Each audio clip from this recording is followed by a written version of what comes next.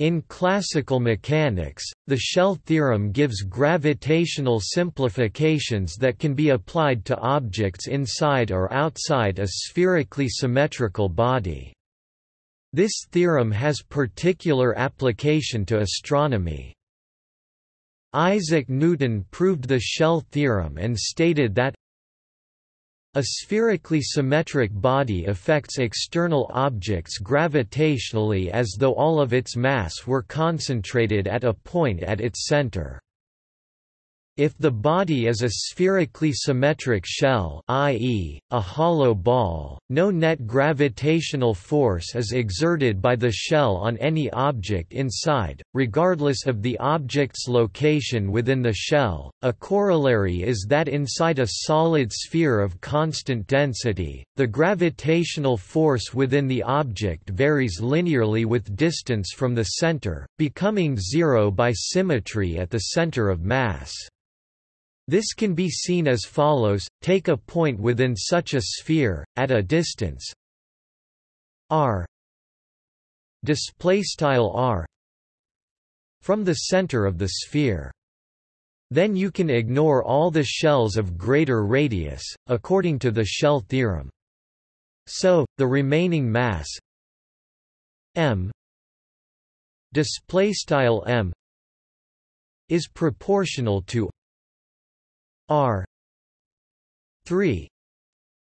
Display style R caret 3 because it is based on volume and the gravitational force exerted on it is proportional to m r 2 display style m r caret 2 the inverse square law, so the overall gravitational effect is proportional to r 3 r 2 equals r display style r caret 3 r caret 2 equals r.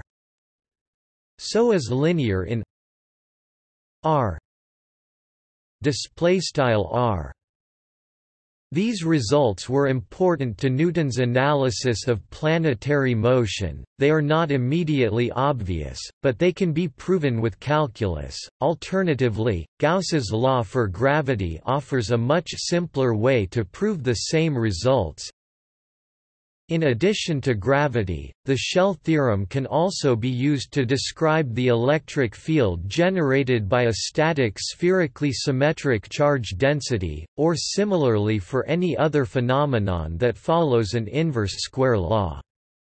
The derivations below focus on gravity, but the results can easily be generalized to the electrostatic force.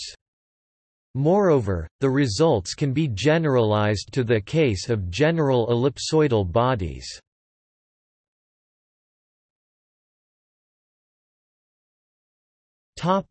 Outside a shell A solid, spherically symmetric body can be modeled as an infinite number of concentric, infinitesimally thin spherical shells. If one of these shells can be treated as a point mass, then a system of shells i.e. the sphere can also be treated as a point mass. Consider one such shell the diagram shows a cross-section. Note, d theta appearing in the diagram refers to the small angle, not the arc length. The arc length is r d theta, Applying Newton's universal law of gravitation, the sum of the forces due to mass elements in the shaded band is. However, since there is partial cancellation due to the vector nature of the force in conjunction with the circular band symmetry, the leftover component in the direction pointing toward m is given by the total force on M, then, is simply the sum of the force exerted by all the bands. By shrinking the width of each band, and increasing the number of bands, the sum becomes an integral expression. Since g and m are constants, they may be taken out of the integral To evaluate this integral, one must first express dm as a function of d theta. The total surface of a spherical shell is while the surface of the thin slice between theta and theta plus d theta is if the mass of the shell is m, one therefore has that and by the law of cosines these two relations link the three parameters theta, phi and s that appear in the integral together. When theta increases from 0 to pi radians, phi varies from the initial value 0 to a maximal value to finally return to 0 for theta equals pi. S on the other hand increases from the initial value r minus r to the final value r plus r when theta increases from 0 to pi radians. This is illustrated in the following animation, Note, as viewed from M, the shaded blue band appears as a thin annulus whose inner and outer diameters converge to r sin theta as d theta vanishes. To find a primitive function to the integrand, one has to make s the independent integration variable instead of theta. Performing an implicit differentiation of the second of the cosine law expressions above yields and one gets that where the new integration variable s increases from r minus r to r plus r inserting the expression for cos phi using the first of the cosine law expressions above one finally gets that a primitive function to the integrand is and inserting the bounds r minus r, r plus r for the integration variable s in this primitive function, one gets that saying that the gravitational force is the same as that of a point mass in the center of the shell with the same mass. Finally, integrate all infinitesimally thin spherical shell with mass of dm, and we can obtain the total gravity contribution of a solid ball to the object outside the ball. Between the radius of x to x plus dx, dm can be expressed as a function of x, i.e. Therefore, the total gravity is which suggests that the gravity of a solid spherical ball to an exterior object can be simplified as that of a point mass in the center of the ball with the same mass.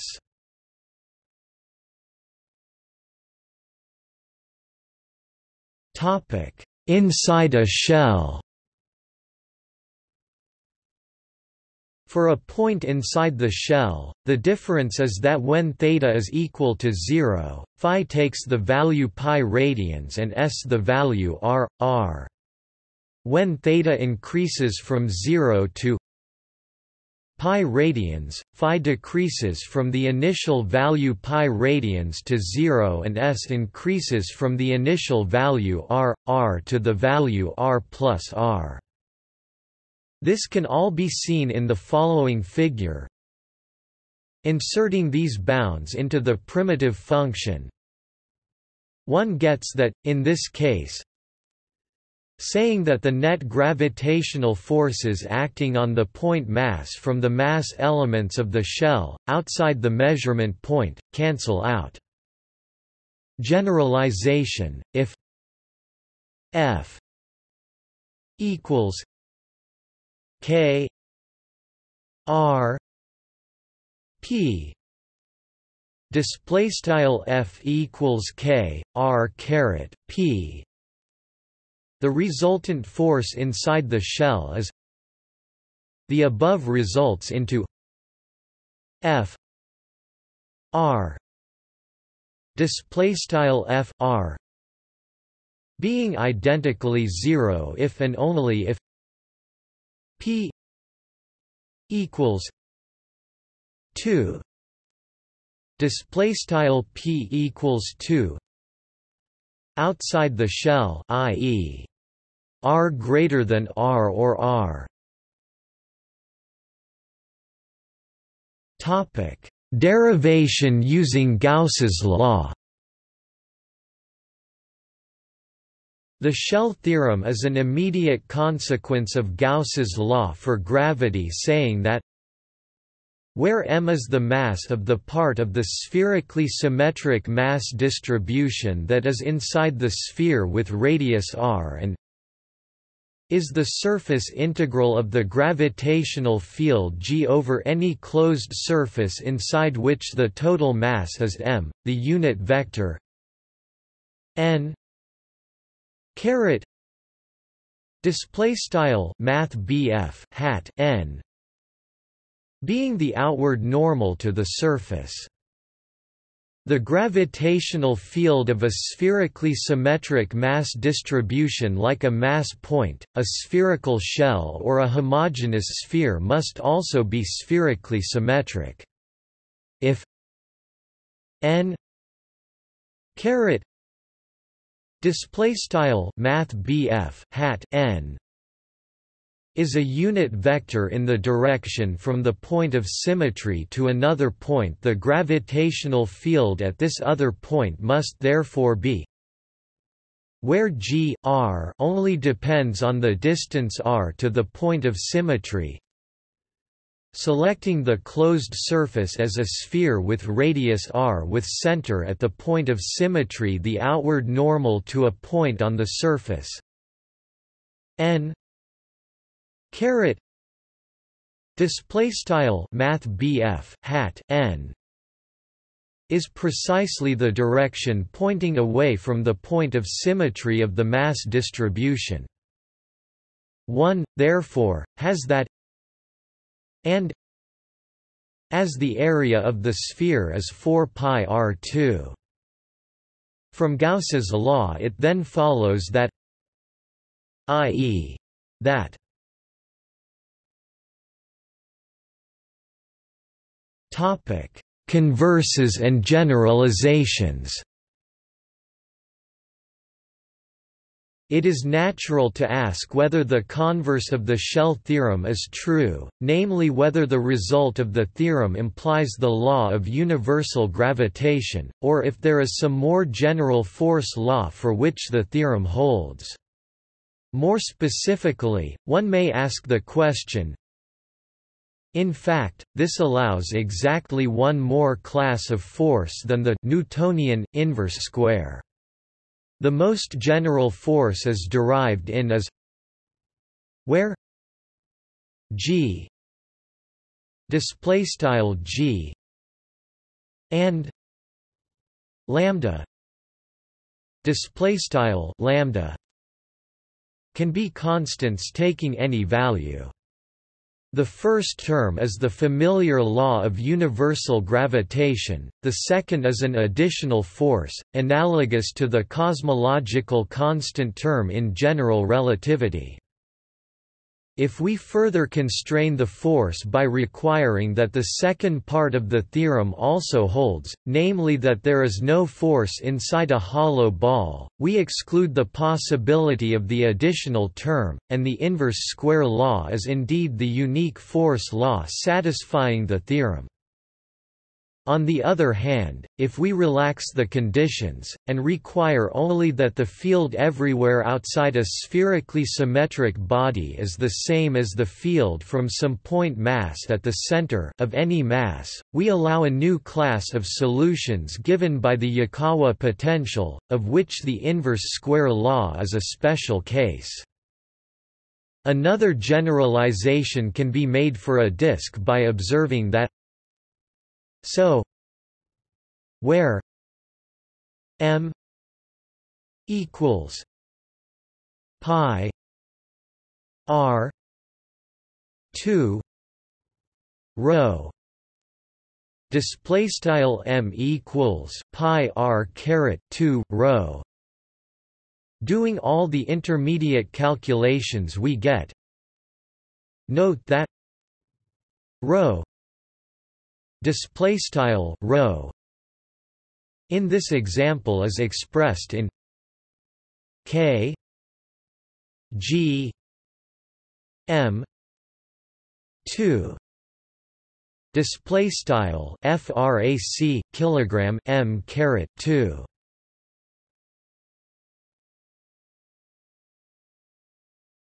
topic. Newton's proofs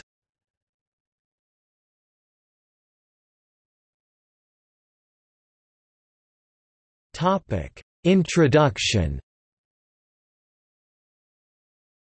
Propositions 70 and 71 consider the force acting on a particle from a hollow sphere with an infinitesimally thin surface, whose mass density is constant over the surface. The force on the particle from a small area of the surface of the sphere is proportional to the mass of the area and inversely as the square of its distance from the particle. The first proposition considers the case when the particle is inside the sphere, the second when it is outside. The use of infinitesimals and limiting processes in geometrical constructions are simple and elegant and avoid the need for any integrations. They well illustrate Newton's method of proving many of the propositions in the Principia. His proof of proposition 70 is trivial. In the following, it is considered in slightly greater detail than Newton provides. The proof of proposition 71 is more historically significant. It forms the first part of his proof that the gravitational force of a solid sphere acting on a particle outside it is inversely proportional to the square of its distance from the center of the sphere, provided the density at any point inside the sphere is a function only of its distance from the center of the sphere. Although the following are completely faithful to Newton's proofs, very minor changes have been made to attempt to make them clearer.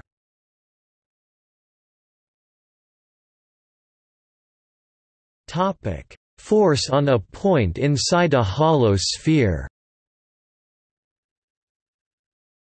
Fig. 2 is a cross-section of the hollow sphere through the center, S and an arbitrary point, P, inside the sphere. Through P draw two lines IL and HK such that the angle KPL is very small. JM is the line through P that bisects that angle. From the geometry of circles, the triangles IPH and KPL are similar. The lines kh and il are rotated about the axis jm to form two cones that intersect the sphere in two closed curves. In Fig. 1 the sphere is seen from a distance along the line PE and is assumed transparent so both curves can be seen.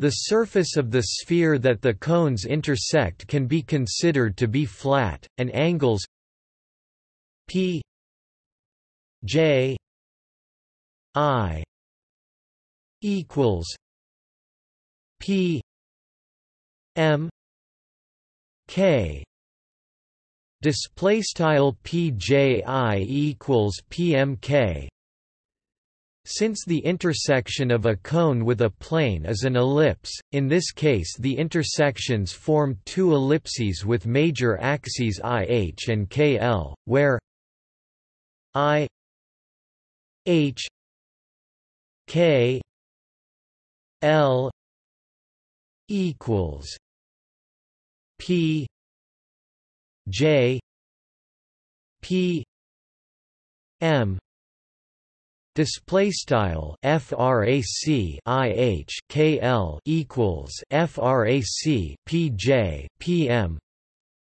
By a similar argument, the minor axes are in the same ratio. This is clear if the sphere is viewed from above.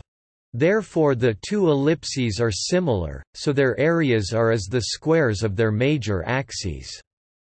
As the mass of any section of the surface is proportional to the area of that section, for the two elliptical areas the ratios of their masses p j 2 p M.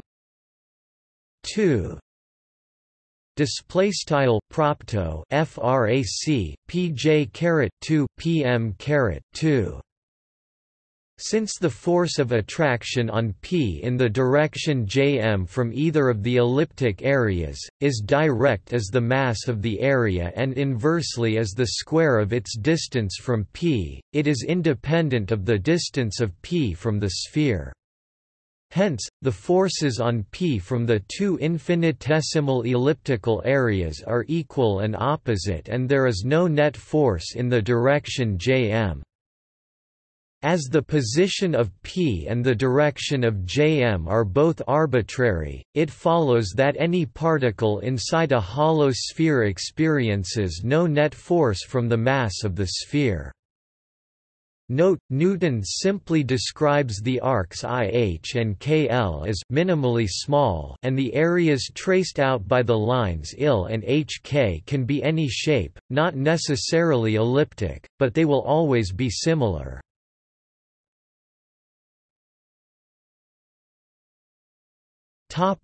Force on a point outside a hollow sphere. Fig. 1 is a cross-section of the hollow sphere through the center, S with an arbitrary point, P, outside the sphere. PT is the tangent to the circle at T which passes through P high as a small arc on the surface such that pH is less than PT. Extend π to intersect the sphere at L and draw SF to the point F that bisects IL. Extend pH to intersect the sphere at K and draw SE to the point E that bisects HK, and extend SF to intersect HK at D. Drop a perpendicular IQ onto the line PS joining P to the center S. Let the radius of the sphere be A and the distance PS be D. Let arc IH be extended perpendicularly out of the plane of the diagram, by a small distance zeta. The area of the figure generated is IH, zeta, and its mass is proportional to this product. The force due to this mass on the particle at p i h zeta p i 2 display style propto frac ih zeta pi caret 2 and is along the line pi. The component of this force towards the center i h zeta p q p i 3 display style propto frac ih zeta pq pi caret 3 if now the arc high is rotated completely about the line PS to form a ring of width high and radius IQ, the length of the ring is 2 pi, IQ and its area is 2 pi, IQ, IH. The component of the force due to this ring on the particle at p in the direction ps becomes i h i q p q p i 3 display style propto frac ih iq pq pi caret 3 the perpendicular components of the force directed towards ps cancel out since the mass in the ring is distributed symmetrically about ps Therefore, the component in the direction ps is the total force on p due to the ring formed by rotating arc high about ps. From similar triangles i q p i equals f s d Display style frac iq pi equals frac fs d.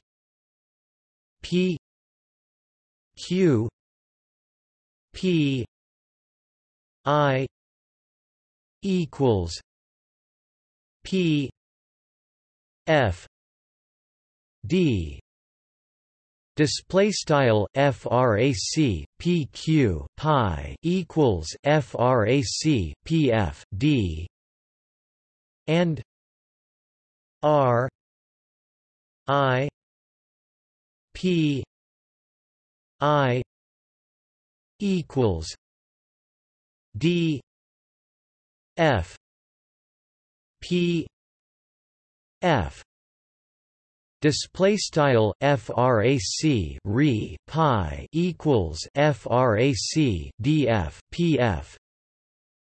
If high is sufficiently small that it can be taken as a straight line, SIH is a right angle, and the angles r i h equals f i s.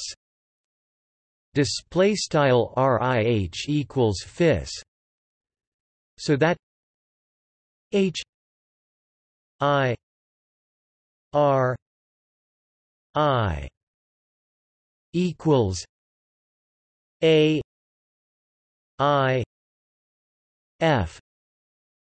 Display style frac high re equals frac a if Hence the force on P due to the ring I H I Q P Q P I three equals A D F F S P F I F P F D D equals A D F F S I F D two display style propto frac ih iq pq pi caret 3 equals frac a df fs pf if pf d d equals frac a df fs if d caret 2 Assume now in Fig. 2 that another particle is outside the sphere at a point, p, a different distance, d, from the center of the sphere, with corresponding points lettered in lower case. For easy comparison, the construction of p in Fig. 1 is also shown in Fig. 2. As before, ph is less than pt. Generate a ring with width IH and radius IQ by making angle F I S equals F I S. Display style fis equals fis and the slightly larger angle d h S equals D H S display style DHS equals DHS so that the distance PS is subtended by the same angle at I as is PS at I. The same holds for H and H, respectively. The total force on P due to this ring is clearly F S equals F s. Display style fs equals fs i f equals i f display style if equals if and e s equals e s display style s equals s Newton claims that df and df can be taken as equal in the limit as the angles dpf and dpf vanish together. Note that angles dpf and dpf are not equal. Although ds and ds become equal in the limit, this does not imply that the ratio of df to df becomes equal to unity, when df and df both approach zero. In the finite case df depends on d, and df on d, so they are not equal. Since the ratio of df to df in the limit is crucial, more detailed analysis is required. From the similar right triangles d f p f equals e D E S display style frac df pf equals frac ed s. And e d 2 equals d f plus f S two minus E S two Display style ed caret two equals df plus fs caret two s caret two, giving p f two minus E S two D F two P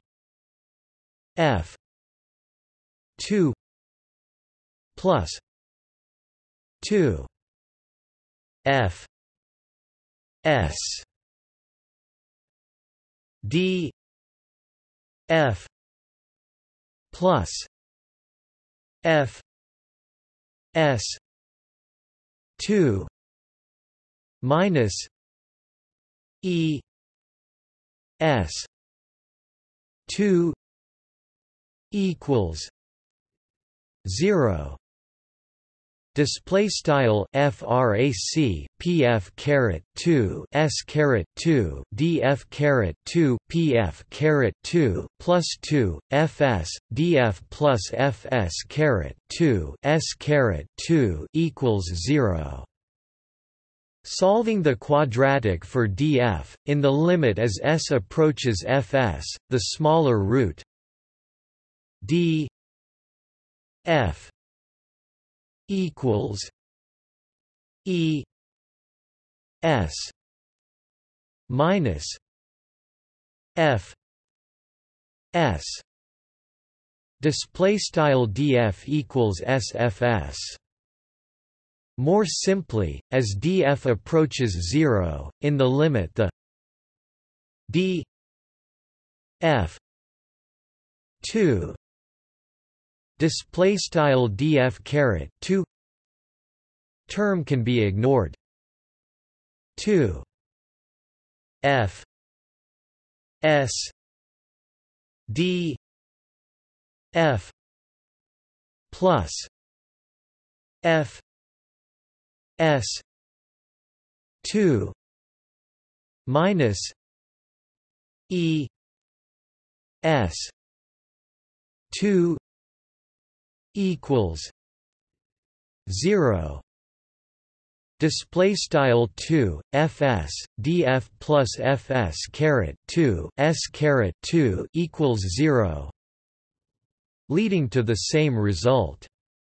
Clearly df has the same limit justifying newton's claim Comparing the force from the ring high rotated about ps to the ring high about ps, the ratio of these two forces equals d 2 d 2 display style frac d caret 2 d caret 2 by dividing up the arcs at and bt into corresponding infinitesimal rings, it follows that the ratio of the force due to the arc at rotated about ps to that of bt rotated about ps is in the same ratio, and similarly, the ratio of the forces due to arc tb to that of ta both rotated are in the same ratio. Therefore, the force on a particle any distance d from the center of the hollow sphere is inversely proportional to d 2 display style d caret 2 which proves the proposition.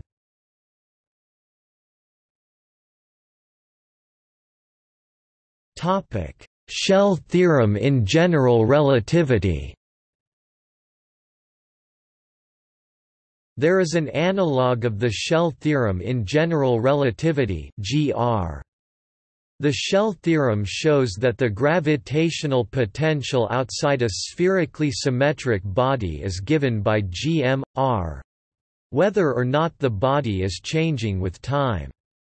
In general relativity, there is a similar theorem that demonstrating that the spacetime geometry outside a spherically symmetric mass-energy distribution is the time-independent Schwarzschild geometry even if the central mass is undergoing gravitational collapse Misner et al., 1973.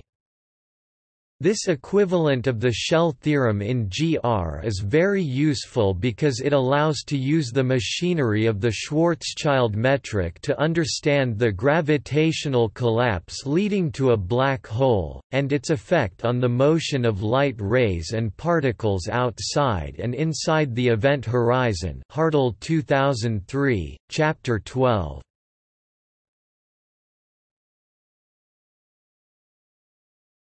Topic. See also. Scale height